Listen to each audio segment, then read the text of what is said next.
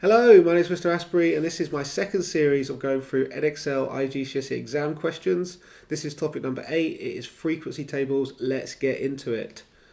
Question. Um, yeah, what's important here that there are 80 motorbikes, and we've got the table there. It says write down the modal class. The most frequent class um, happens to be the one with the biggest frequency, and that one is this one right there, which is 70 to 80. Okay, um, estimate the mean speed. Okay, so how do we find the mean of a frequency table? Well, um, what we need is we need the midpoints. So the halfway point between 40 and 50 is 45 because we're going to estimate that that row we're traveling at 45. This row we're going to estimate is 55. This row 65. This row 75. And this row 85.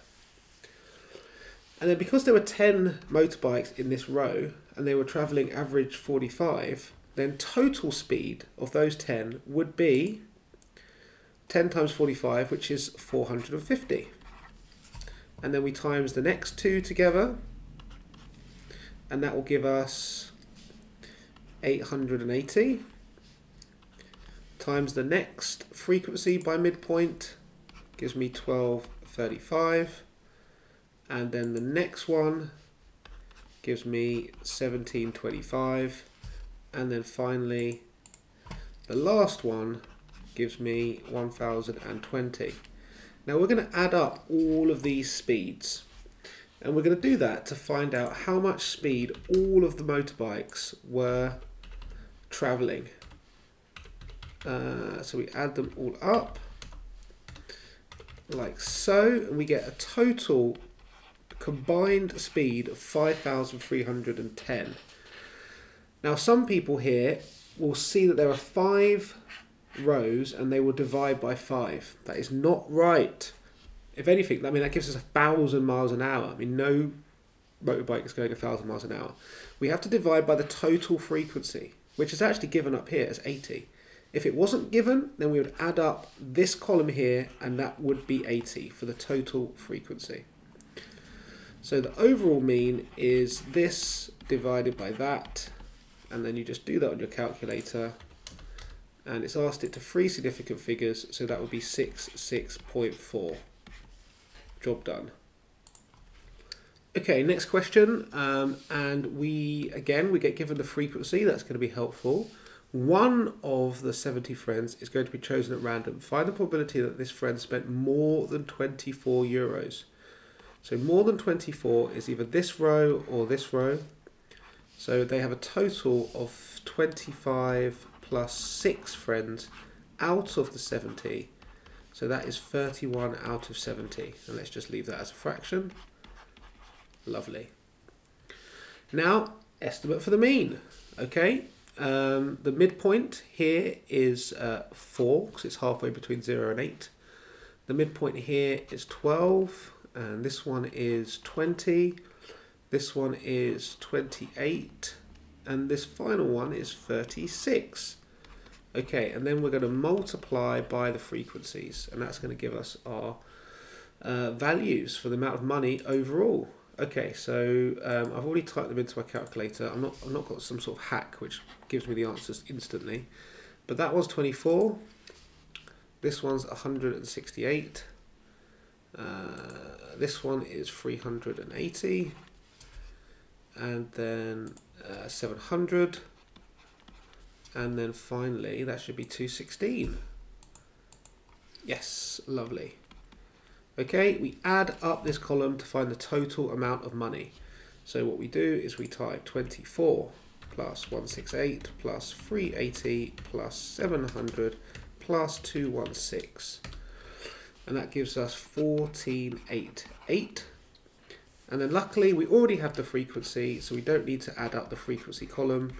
So to find the mean, we just do 1488 divided by 70. And that gives us an exact, no it doesn't. So, well, I can tell it's not exact it says give your answer to two decimal places. That's always a good indication. If it doesn't say that, then you would expect an exact value. Um, but this is two decimal places, so it is 2, 6. Perfect. Okay, next question is, whoops, is a bit trickier. Um, so we don't have a class here, so we're just going to use the exact value of number of points. Um, so we're going to just multiply the exact number of points by how many times that they achieved those particular number of points. And then this is going to give us the total number of points, and then if we divide by the total frequency, we will get the mean, which is 2. Okay, so my equation should look something like this. So 0 times 13 plus 1 times 17 plus 2 times 8 plus 3 times x plus 4 times 11.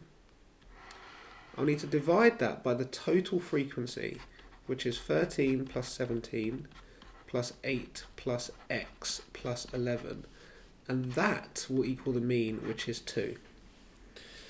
Okay, so let's do the top row first and let's add up all the numbers. So we've got 0 times 13, well obviously that is uh, 0.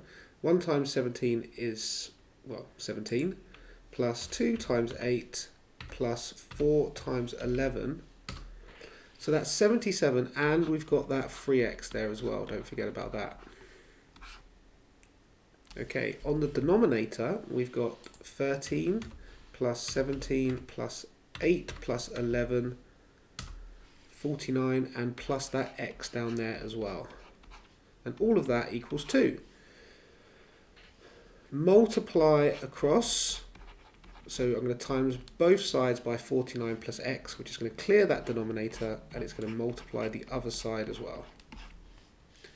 Then going to expand the brackets. So that's going to give me 2 times 49 is 80, 98 plus 2x.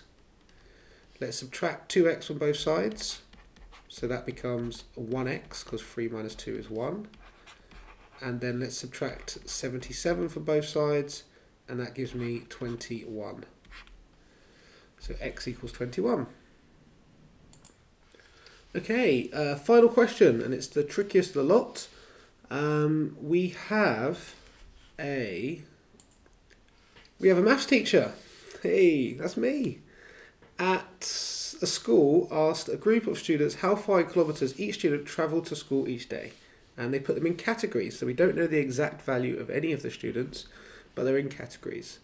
Uh, the teacher calculated an estimate for the mean total distance over the whole group of students was 4.25. Work out the value of x. Okay, so what we're going to need is the midpoints, because those are roughly how far each person in that class travelled. So for the first one, it is 1, and then it's 3, and then it's 5, and then it's 7, and it's 9. And then we'll take those and we'll multiply them by the frequencies, and that will give me an estimate for how far each of the row would have travelled. So this one is x, because 1 times x is x. This one is 33, this one is 40, this one is 42, and this one is 45. And then we would add those up. So let's do that. So the sum of the frequencies uh, times midpoints is 33 plus 40 plus 42 plus 45. So it's 160 plus the x as well. And then we're going to divide that by the total frequencies, which I get when I added up the this column. So we've got an x again, and we've also got 11 plus 8 plus 6 plus 5, 30. So we have 30 plus x. And we're told this is equal to 4.25 because the mean is the sum of the midpoint times frequencies divided by the sum of the frequencies. Okay. Clear the denominator by multiplying across to the other side. So I get 4.25, 30 plus x. Um, we're going to expand the brackets. 4.25 times 30. Let's figure that out. That is 127. Uh, whoops, 127.5 and then that's going to give me 4.25x. Subtract x from both sides, cancels the x over there and gives me 3.25x here minus 127.5 from both sides gives me uh, 32.5 and that's equal to 3.25 x so we can divide through and that should give us 10 voila! And we're done. Hope that was useful. Try the next topic or if you want more questions try series 1 bye for now